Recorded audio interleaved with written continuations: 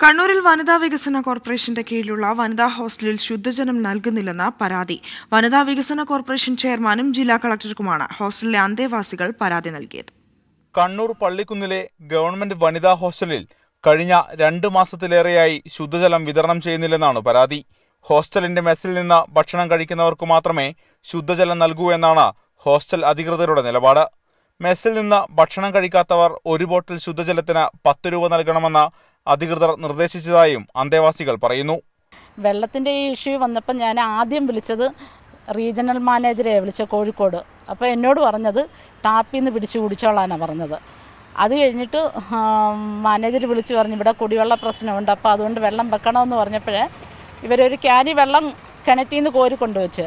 ഞാൻ പറഞ്ഞു അത് പറ്റുകയല്ലെന്ന് പറഞ്ഞ് തിളപ്പിച്ചാർച്ച വെള്ളം ഇല്ലെങ്കിൽ ഞങ്ങൾക്ക് ഫിൽറ്റർ വെച്ച് തന്നാൽ മതി എന്ന് പറഞ്ഞു.